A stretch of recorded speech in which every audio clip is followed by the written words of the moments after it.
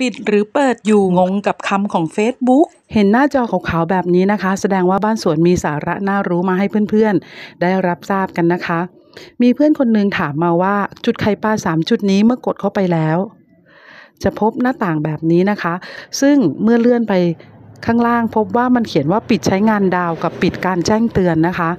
คำว่าปิดการใช้งานดาวกับปิดการแจ้งเตือนแบบนี้ มันบ่งบอกว่า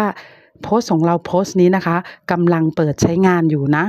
กำลังเปิดใช้งานดาว และกำลังเปิดการแจ้งเตือนนะคะ เพื่อนๆอย่าเข้าใจผิดนะว่าเขาปิด ตอนนี้เขากำลังเปิดนะคะ ถ้าเราไปคลิกนะคะ มันจะกลายเป็นการไปปิดการใช้งานดาวกับการแจ้งเตือนนะคะ มาทดสอบดูที่เฟซนี้นะคะ นี่เป็นเฟซของเพื่อนบ้านสวนนะคะ ขออัปเดต นี่เป็นเฟซคนอื่นที่มาดู ช่องบ้านสวนนะคะ จะพบว่า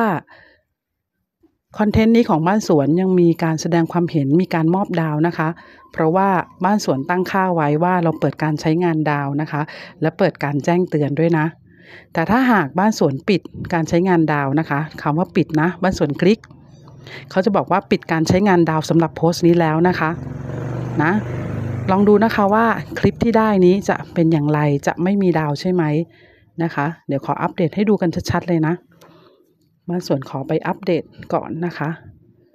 อัปเดตปุ๊บ คือคอนเทนต์เมื่อสักครู่ที่บ้านสวนปิดการใช้งานดาวนะคะ เมื่อคลิกเข้าไปดู จะเห็นได้ว่าไม่มีดาวแล้วนะคะ เพราะฉะนั้นเพื่อนๆเข้าใจกันให้ถูกต้องนะคะว่า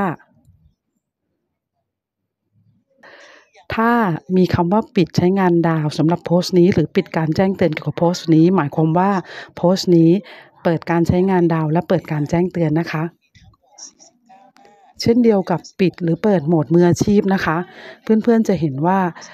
ถ้าเพื่อนๆเปิดโหมดมืออาชีพอยู่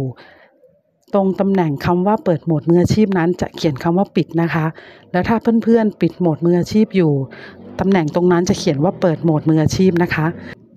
หวังว่าทุกคนจะไม่เข้าใจผิดอีกนะ แล้วเผลอไปกด ปิดการใช้งานดาวนะคะ ฝากไว้ให้เพื่อนๆทุกคนด้วยค่ะ